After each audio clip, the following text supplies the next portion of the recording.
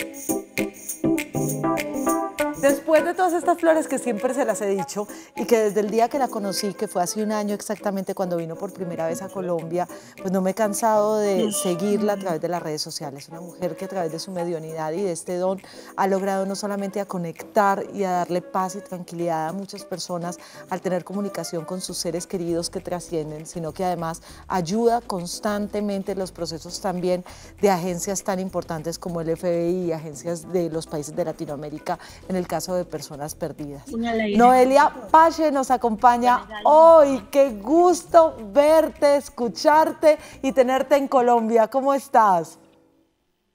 Un placer estar con ustedes. Estoy en Bogotá, pero me estoy trasladando de un lado al otro, así que estamos por este medio feliz de encontrarme nuevamente. Gracias por todos esos halagos que escuché. Un placer para mí. Ay, Noelia, qué felicidad que estés aquí. Yo eh, lastimosamente todavía no te he podido conocer en persona, pero créeme que no veo la hora porque es que esta mujer, para que Olguita Vilches hable así de una persona que se desempeña en este medio es porque realmente lo hace desde el amor y desde la verdad y la palabra de Dios. Pero entonces aquí mi gran pregunta... Agradecida. Para, que empecemos Agradecida con Olga también. Sí, y ella contigo. Para que empecemos de una vez con el tema, ¿qué es realmente la mediumidad? ¿Y todo el mundo lo puede tener? La mediunidad es un don maravilloso, una capacidad divina de poder conectar los planos astral y, terrenal. Es la posibilidad del medium de transmitir lo que las almas tienen para decir, de poder conectar a aquellos seres que creemos que la muerte nos quita. Es una labor sana, amorosa, que tiene por único fin la sanación y poder dejar que la evolución del alma se dé por completo y que la evolución de quienes estemos en este plano terrenal también. Para mí la mediunidad es un punto de sanación, un punto de encuentro entre alma y espíritu.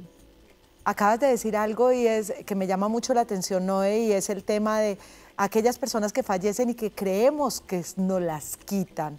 Eso quiere decir que dentro de estos procesos de mediunidad y de esta conexión que has tenido con los seres que trascienden, tu forma de ver y de percibir ese trascender es diferente, no nos quita nada. No nos quitan nada, la muerte es una transformación, nosotros vivimos transformándonos, nacemos y morimos todos los días. Eh, nadie tiene certeza de la existencia del mañana, no tenemos certeza de cómo va a ser, pero tenemos una única proyección que es el vivir. La muerte es parte de esta vida. Luego de esta vida hay más vida, la muerte solamente es el medium, es quien transita el proceso.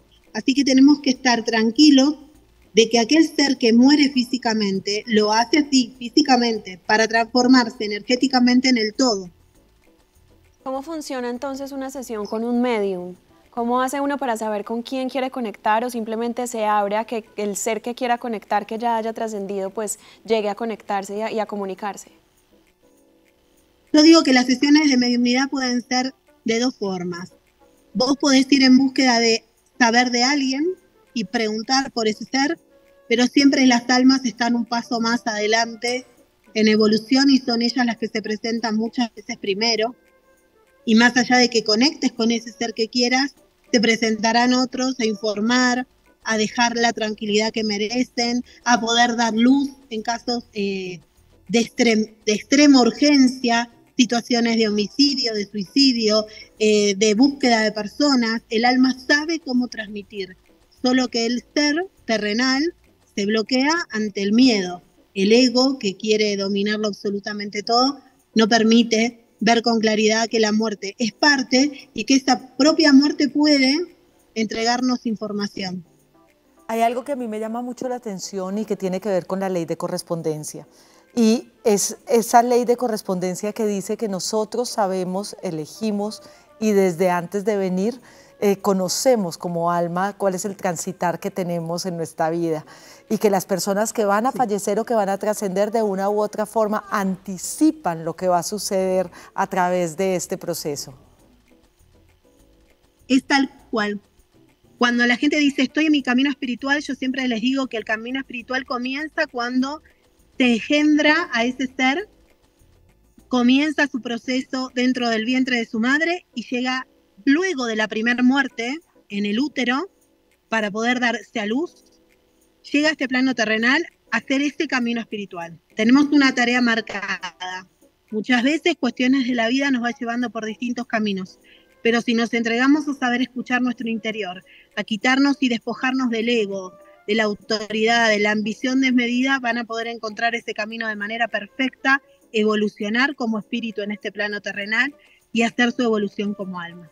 Te pregunto esto, Noé, porque, bueno, aquí llega como información, tú sabes que entre nosotros lo hablamos así, y es aquellas personas que tienen familiares que están enfermos, que son enfermedades que son ya terminales y que de pronto están atravesando por esos últimos días de su paso en este mundo, de este pasito pequeñito de este trascender y que empiezan a identificar. No escuché la última parte, pero cuando hablabas de estas personas que acompañan a otros al morir, acompañan el proceso de enfermedad, desde, desde mi lugar como tanatóloga, acompañar el proceso de la muerte de otro nuestro ser querido es maravilloso. Primero, porque nos enseña cómo la vida misma va generando evolución aún en sus últimos momentos de vida. Y también nos permite poder transitar con ese ser una finalidad sanadora. Morir también significa sanar, significa salvarse, significa liberarse y ayudar a que alguien deje este plano terrenal cumplido, sabiendo que lo que hizo es correcto, que pueda subsanar sus errores, es un acompañamiento sano, evolutivo y también hace de evolución para quien lo acompaña. En los encuentros que voy a dar en Medellín el 24 de agosto vamos a trabajar estos temas, el proceso del duelo, cómo acompañar la muerte, cómo saber hacer que el ser transite un duelo sano, las señales y además conexión, pura conexión. Así que los espero a todos. No, pues sí, yo creo que más de una persona tendrá que estar, es más, yo creo que todos los seres humanos tendremos que aprender de esto porque creo que una de las cosas que más nos cuesta a todos es el tema de desapegarnos. Sobre todo en nuestra cultura, nuestra cultura muchas veces es muy apegada a la vida y le tiene un miedo a la muerte tremendo, viendo que lo único que uno tiene fijo en la vida es que un día nació y que algún día va a trascender, no hay otra cosa, ¿o no? Es así, es tal cual. Es más, yo siempre digo que estamos tan acostumbrados a dominar todo que creemos poder dominarla a ella. Y ella en realidad es la que nos permite la transformación infinita. La muerte es eso, transformación. Cuando el ser humano comprenda eso, va a presentarse ante su vida la posibilidad de evolución perfecta, de llegar a ambición, a lograr lo que quiere, pero quitando el miedo, detrás de ese miedo, corriendo en contra de la muerte, nos perdemos muchas veces lo bueno, lo amable, lo valioso de la, de la vida misma. Así que el proceso es ese, aceptarla, reconocer que es parte nuestra, solamente vivir. Sé que ya estás yendo de un lado para otro en Bogotá porque tienes presentación y vendrás a nuestra ciudad esta misma semana, el 23 y 24, para que, vean, yo les recomiendo no perderse esta mujer, no pasarse ni saltarse la conversación con ella. espero. Allí voy a estar, ya tenemos un compromiso de verdad y me alegra muchísimo poder contribuir de una u otra forma a través de la forma como tengo para hacerlo, a que conozcan este trabajo maravilloso y a que muchas personas sientan paz después de tiempos de tribulaciones que hay veces no son tan sencillos cuando transitan a través de un familiar que ha tenido que trascender. Te mando un abrazo grande, grande. enterarse a través de Noé. las redes sociales, sí, porque la, gente que quiere ir. Arroba arroba Noelia Paz de la Medium Oficial y el 24 Medellín en em, el Teatro de las Universidades. Creo que lo dije bien. Es y si no entran a la tiquetera, exacto, a la tiquetera Pin Ticket y nos encontramos para vivir este encuentro único. Gracias por esas palabras tan maravillosas y sé de tu labor también espiritual y gracias por ponerlo al servicio de la humanidad. Muchas gracias. Un abrazo grandote. Ya nos vemos. Nos vamos a separar un segundito y ya regresamos. También. Claro.